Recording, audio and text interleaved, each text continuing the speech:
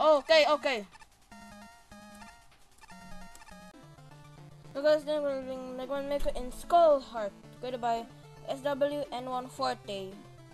Um, I think this the SWN1 looks familiar because it's like a previous um creator, um a previous um level maker. But since it's Forte, then I think it's a new or um anything. So let's just say shout out to him. Anyways, let's just start now so we won't waste time.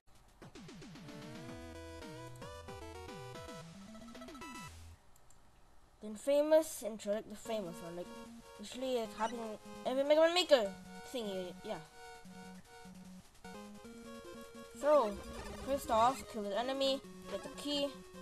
I mean, I, there, you can go to the, the, what do you call this? The left ladder to get some weapon pellets, but I recommend doing it when they die, not now. Because everything is full in the inventory. I remember these shooters, like like a while ago, I just seen like the one that covers up then shoot once. Yeah. Remember, I remember thinking the recent Mega Man Maker um video, I think it's the previous one, yeah. Then I think um I struggled that too, cause wrong timing. Okay, okay, okay, I did not make it. There we go. Have to kill that eye. Nice. Just um two rounds. Checkpoint. I haven't used any um weapon yet, special weapon, except for the Buster. Again, as I said in like um the previous Mega Man Maker video, uh, I should practice more on charge shots. Alright, here now. Let's do bounce ball here, this um means it's too much shooters. There you go. Carefully, this fire, fire can instantly kill you. This attack won't do anything. Nice. There you go. Should go farther. Do rapid shots in that enemy because when you do charge shot it might be a bit unpredictable, like it will block it.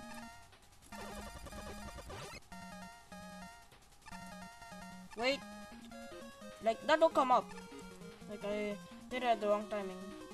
We go correct now. And... Okay. Die. Nice. Okay, okay.